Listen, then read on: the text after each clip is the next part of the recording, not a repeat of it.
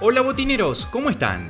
Lionel Messi arrastra una molestia en su rodilla izquierda desde hace dos meses por la durísima patada que sufrió por parte del defensor venezolano en las eliminatorias.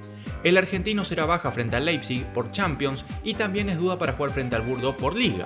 Además, se analiza la posibilidad de que viaje a Madrid a realizarse un tratamiento en la rodilla. Mauricio Pochettino le deseó una pronta recuperación a Messi y espera contar pronto con el jugador. Esperamos que la evolución sea buena y pueda estar con el grupo lo antes posible. Botineros, si quieren seguir en vivo el minuto a minuto de los partidos de Champions, lo que les recomiendo hacer es descargarse gratis la app OneFootball. En OneFootball puedes personalizar las notificaciones y seguir el minuto a minuto de los partidos de tu equipo preferido.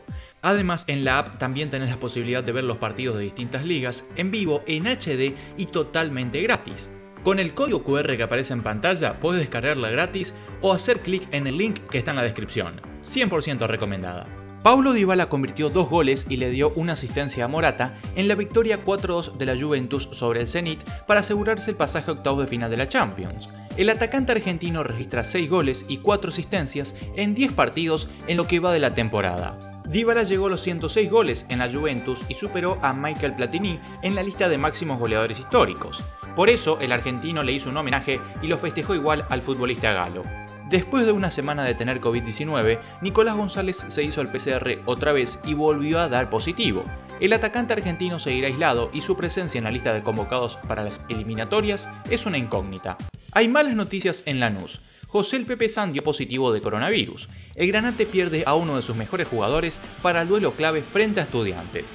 Se confirmó lo peor, Maximiliano Coronel, quien salió lesionado en el partido frente a Boca, sufrió un esguince grave de rodilla izquierda con ruptura del ligamento cruzado anterior y será baja por entre 6 y 8 meses. El zaguero central de gimnasia no podrá jugar hasta 2022. Marcelo Gallardo espera recuperar a uno de sus soldados. Nicolás de la Cruz se recupera de la trombosis venosa en su pie izquierdo y apunta a volver para jugar frente a Platense dentro de 10 días. El mediocampista del Millonario ya realizó trabajos livianos con poco contacto en la práctica de este martes y se espera que regrese para visitar al Calamar.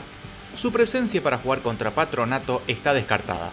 Adidas mejoró la oferta de Puma y seguirá vistiendo a River.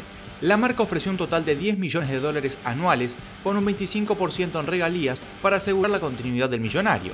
Además, será el mejor contrato del país y le pagarán más que a Boca. Cristian Malaspina, presidente de Argentinos y vice de la Liga Profesional, le respondió Juan Román Riquelme luego de que este se queje por el cambio de día que le dieron al bicho en la fecha pasada. Lo que diga Riquelme la verdad me tiene sin cuidado. Creo que es una estrategia de victimización, buscando no sé qué. Lo van a definir los jugadores en el verde césped el miércoles. Hay que ir a disputar ese partido como una final. Y Juan Román Riquelme le respondió a Ruggeri luego de los dichos del cabezón contra él. Cuando una persona que uno no tiene relación sale a decir esas cosas no me causa nada, entonces lo que dice ese muchacho para mí, para mí no cuenta. Además, el vicepresidente del Ceneice opinó sobre el episodio del pasado fin de semana cuando hizo bajar a los jugadores del micro. Para mí no hubo ningún lío por bajarlos del micro. No sé por qué tengo que tener vergüenza por hablar y felicitarlos.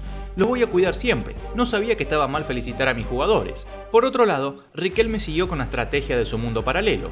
Dijo que Boca es el mejor del fútbol argentino y se victimizó al decir que al Ceneice lo bajaron del torneo y de la Copa Libertadores. Los últimos dos años fueron muy buenos, fuimos el equipo que más compitió. Nosotros ganamos los dos partidos con Mineiro y no nos cobraron los goles, nos sacaron de la copa. En el torneo arrancamos mal porque no nos dejaron competir y nos obligaron a jugar con los chicos. Ganamos los dos partidos. Ese equipo los cagó a goles a todos los equipos, Mineiro, a todos. A todos los equipos los cagó a goles Mineiro. Nosotros le ganamos los dos. Cuando te obligan a jugar con los chicos no te dejan competir. Si nosotros logramos clasificar a la Libertadores por la tabla general, vamos a decir que el año fue más que bueno, mucho más que bueno. Y los dos años vienen siendo fabulosos. los dos años vienen siendo muy buenos.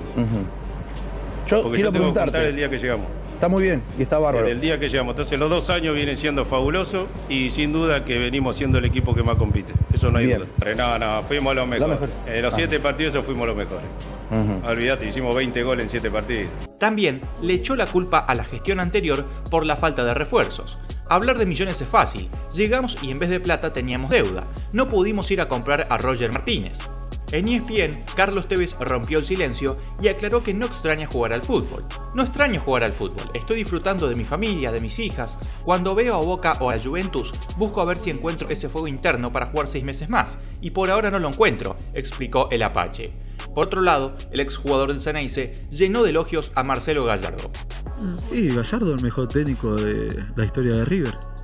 Y hoy por hoy el mejor técnico de la Argentina. River me gusta, sí. Sí, a ver, juega bien al fútbol. Tiene una idea clarísima de lo que quiere. También en ESPN, Pipo Gorosito repasó el episodio que tuvo en la bombonera al recordarles que ahí salió campeón con la camiseta de River.